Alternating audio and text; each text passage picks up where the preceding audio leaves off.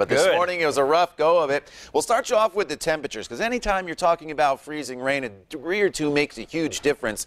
And you notice many locations to the north have temperatures that are hovering still right around the freezing mark to below freezing in Peru as well as Fishers. We're south of Interstate 70 up to 40 degrees now in Bedford and 37 in Bloomington. So the good news is this warmer air will continue to work its way to the north. The bad news is it's going to be a gradual process for those of you to uh, the north. So you notice where I have this line drawn. That's where temperatures are above freezing and we're dealing with just plain old rain. To the north, though, we're still mixing in a little bit of freezing rain. So slick spots will still be possible in Noblesville over towards Anderson to Muncie up towards Hartford City and then back off to the west. A few very light rain slash freezing rain showers near Frankfort as well as Tipton. To the south, though, this is plain old rain right now.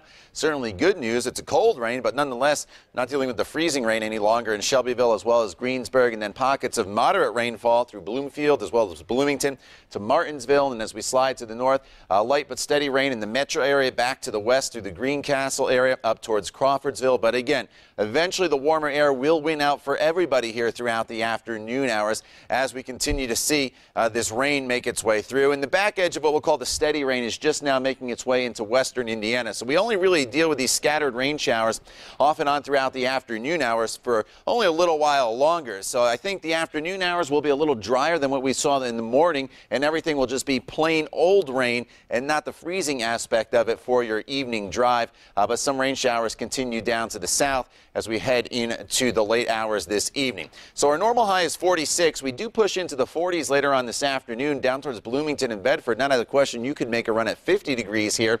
And as we head into the evening hours, at that point I think we'll take most of the rain out of the forecast. But with the rain that is coming down, plus the snow that'll be melting with these warmer temperatures, uh, we are concerned a little bit about local flooding. You heard Julie mention the storm drains a little earlier. Uh, certainly clear that out so this water has somewhere to go. I think we do have the potential maybe for some localized urban flooding here across the area. Let's fast forward to tomorrow morning now. 8.30, most of your drive is just fine, but there is a sneaky storm system down to our south that is going to bring some snow into southern sections of Indiana throughout the afternoon hours tomorrow.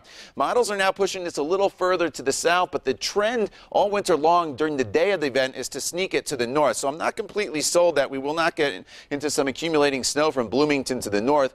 And you can see this computer model has that very sharp cutoff in snow accumulation. But I think from Bloomington to Bedford over towards Seymour and Columbus, not out of the question tomorrow afternoon you could see one to three inches of snow. As we come to the north, maybe some snow showers in Greencastle as well as the metro area.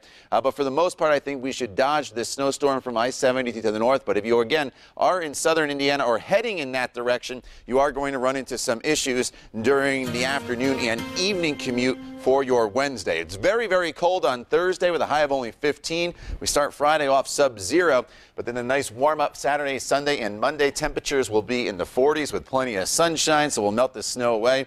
And I mentioned warmer temperatures next week. It looks like maybe we could be in the 50s by the middle half of next week. But first things first, we have some snow to get through tomorrow. Oh, I'm going to be fixed on the weekend. Yeah, let's bring on that spring-like weather. Thank you, Todd, for